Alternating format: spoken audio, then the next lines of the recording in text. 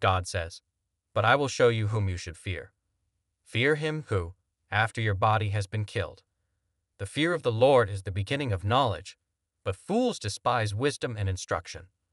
But the cowardly, the unbelieving, the vile, the murderers, the sexually immoral, those who practice magic arts. Then I will tell them plainly, I never knew you. Away from me, you evildoers. For the wages of sin is death, but the gift of God is eternal life in Christ Jesus our Lord. And they will go out and look on the dead bodies of those who rebelled against me. The worms that eat them will not die, the fire that burns them will not be quenched. If your hand causes you to stumble, cut it off. It is better for you to enter life maimed. And throw them into the blazing furnace, where there will be weeping and gnashing of teeth. He will cut him to pieces and assign him a place with the hypocrites, where there will be weeping and gnashing of teeth. And throw that worthless servant outside into the darkness, where there will be weeping and gnashing of teeth. They will be punished with everlasting destruction, and shut out from the presence of the Lord and from the glory of his might.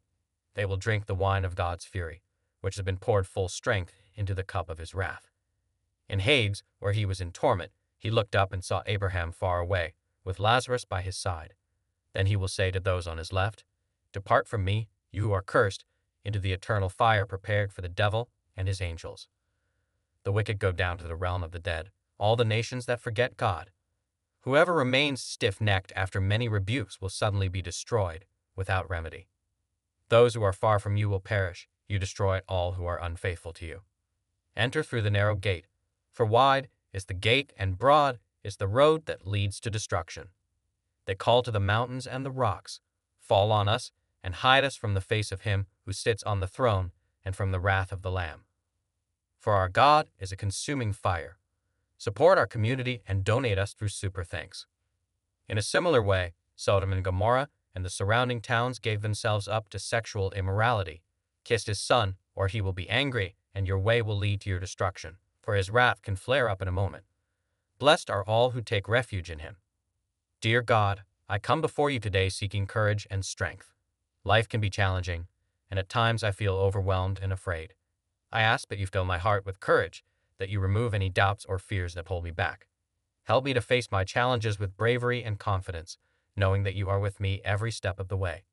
Give me the courage to step out of my comfort zone, to take risks, and to pursue my dreams. When I feel weak, remind me of your presence and grant me the strength to persevere, Lord. Grant me the courage to stand up for what is right, to speak truth, and to act with integrity.